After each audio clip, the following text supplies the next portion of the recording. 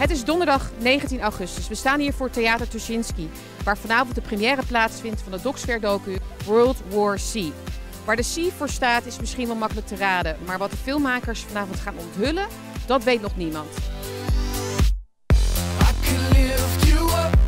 World War C is alweer de tweede docu van producent Docsfair na het wereldwijde succes COVID-19 The System.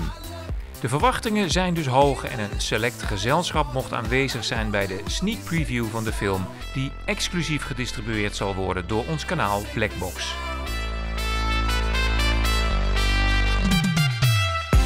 Zaal 2 was het decor van de voorvertoning en producent Jean-Jacques van Bemmel koos een unieke locatie, Pathé Tuschinski. Als ik iets organiseer, ik moet het gewoon mooi en goed doen, want dat komt het beste binnen bij mensen. En uh, ja, vandaar deze fantastische locatie. Ik ben eigenlijk ook heel blij dat Tuschinski Pathé gewoon akkoord geeft en daar ook gewoon in meegaat, er open voor staat. Ik heb heel veel andere locaties die allemaal zeg maar, gesubsidieerd worden door overheidsinstellingen. Daar kom ik niet binnen. Die willen gewoon geen film uh, laten zien. Dus ik ben heel blij dat een commercieel en business uh, bedrijf hier wel open voor staat. En dat geeft mij ook wel het gevoel van, we gaan met z'n allen de goede kant op.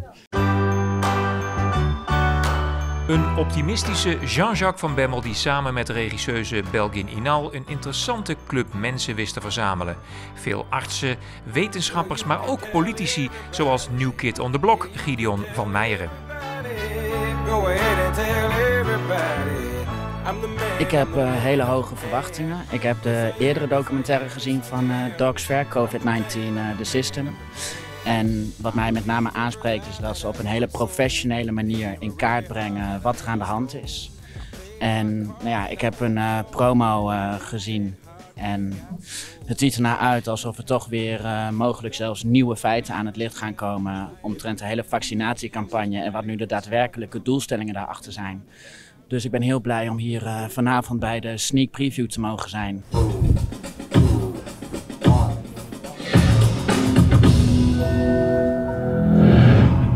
En dan is het zover. Na een uitvoerige introductie kon de film dan eindelijk beginnen. Let's first look at the impact COVID-19 probably has. We don't know yet.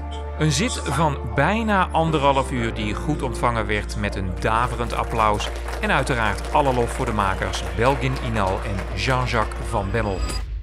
Maar ook een aantal aansprekende hoofdrolspelers uit de film werden geïnterviewd, zoals Wieberen van Haga en Gideon van Meijeren, die zijn vuurdoop met demissionair premier Mark Rutte voorbij zag komen in de film en daarmee stiekem de show stal bij de meeste aanwezigen. Nou, het eerlijke antwoord is dat dat een, eh, een nette brief is waarin je uh, helaas niet alle boeken die je toegestuurd krijgt van kaft tot kaft kunt lezen, maar wel uh, degene die je toestuurt uh, een vriendelijke brief wil terugsturen.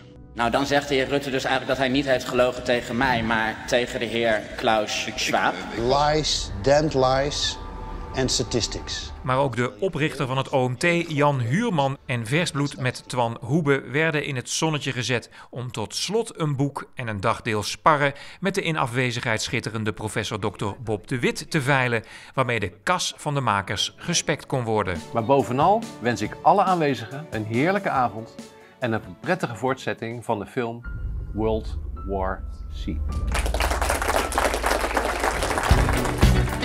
Zijn wederhelft Pam nam honneurs waar en overhandigde de twee boeken aan de gelukkigen om daarna snel door te kunnen naar het hoogtepunt, de afterparty, waar eindelijk gezegd kon worden wat we allemaal willen weten. Hoe was de film? Nou, en kijk wie ik hier heb gevonden, Nadia Duinker. Jij kan niet ontbreken hier natuurlijk, mijn mede-moederhartstrijdster. Het is een heel mooi gemaakte film, heel erg professioneel. Maar de, de vraag is natuurlijk wel of het voldoende mensen gaat bereiken die bereid zijn om nu echt ook in actie te komen. Want dat is natuurlijk wel heel erg, heel erg nodig. Maar denk je dat het helpt om zo'n film dan een, een World War C titel, titel te geven? Van het is oorlog. Ik denk dat zo'n titel in die zin helpt. Uh, ja, we zijn toch uh, consumenten van bad news, zeg maar. Dus uh, shocking titels trekt in ieder geval de aandacht. Ik noem het zelf sinds het begin eigenlijk al de New World War. dus voor mij was dit titel eigenlijk niet eens heel, heel gek gekozen. Er zitten heel veel aanknopingspunten in voor mensen om heel erg kwaad te worden. Ja. En dat hoop je natuurlijk ook. Maar... Was het de bedoeling van Jacques-Jacques van Jean-Jacques? Hè? Dat zei ook van ik wil een, een groter publiek bereiken en meer nuance erin. Hij zei ook vanavond, de eerste versie vond hij eigenlijk een beetje te agressief.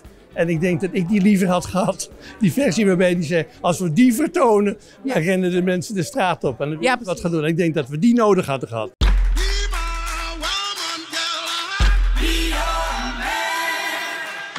Iedereen die hier zit, die weet al dat er van alles aan de hand is. Maar deze film is niet gemaakt voor de mensen die, die, die al weten wat er aan de hand is. Die is juist voor de mensen gemaakt die, die nu pas eigenlijk pas gaan denken van ja, wat is er nou eigenlijk aan de hand? De derde vaccinatie komt eraan. Uh, waar, waar stopt dit? Uh, hoeveel vaccinaties komen er nog? Maatregelen worden uh, aangegeven dat die worden gestopt en gaan toch weer door. Dus je hebt toch een hele groep die nu begint te twijfelen of, of niet helemaal meer snapt. En ik denk als zij deze film zien, dat er voor hun heel wat puzzelstukjes bij elkaar vallen. Ik waardeer het ook heel erg dat er zowel voor als tegenstanders van het beleid aan het woord zijn gelaten. Het gaf een heel objectief beeld.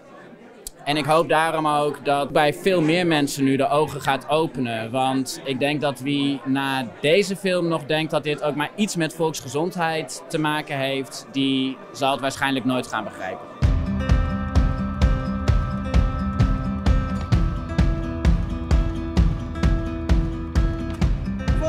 Bijzonder, uh, knap in elkaar gezet. Uh, een heel genuanceerd geluid.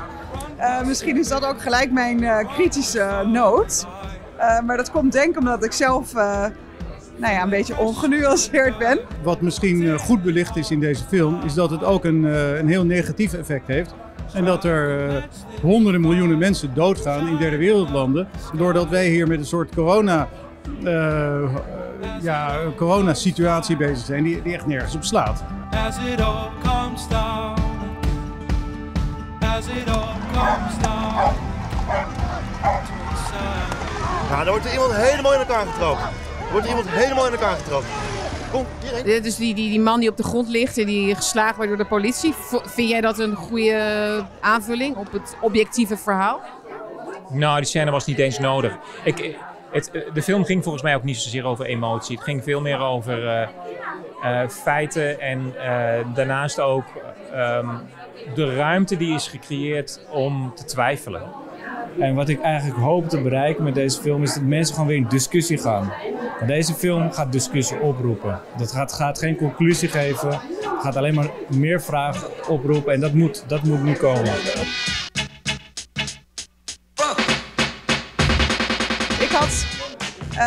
Zelf gehoopt dat er toch nog iets meer zou uh, worden ingezoomd, ook op de grotere problematiek. Want ik ben er nog steeds van overtuigd dat heel veel mensen het startpunt um, uh, niet goed in de gaten hebben. Namelijk dat we eigenlijk al te maken hebben met een uh, technisch faillissement van Deutsche Bank in september 2019.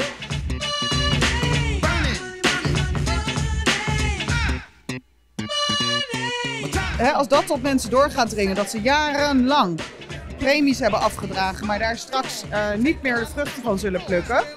Uh, dat zal misschien wel een, uh, een andere mindset kunnen creëren. En ook dat ik dus zie van mensen komen nu niet in beweging. Omdat die tozo's, hè, die, die, die hulpverlening... Die gaan het infuus eigenlijk, heel veel, aan heel veel mensen. En ik denk dat veel mensen zich dat niet realiseren. Dus dat had er van mij nog iets meer ingemogen. Dat kwam ook heel duidelijk naar voren in de film van dit is het, uh, eigenlijk de enige oplossing die ons nu wordt aangedragen. Hè? En, en, dan, dan leven, we in, leven, we in een wereld waar we het hebben over, denken te hebben over vrije wil en vrije keuze. Maar als er maar één keuze wordt aangedragen, of überhaupt als er maar een paar keuzes worden aangedragen waar je er eentje van mag kiezen, dan heb je het eigenlijk niet over vrije wil, maar over het sturen uh, van mensen. Uh, dus we zullen zelf moeten gaan werken aan dat ander alternatief. En om daar te komen moet je het wel eerst zien. Ik verwacht dat het een enorme hit wordt, een viral. En ik wil iedereen vragen om het ontzettend veel te delen.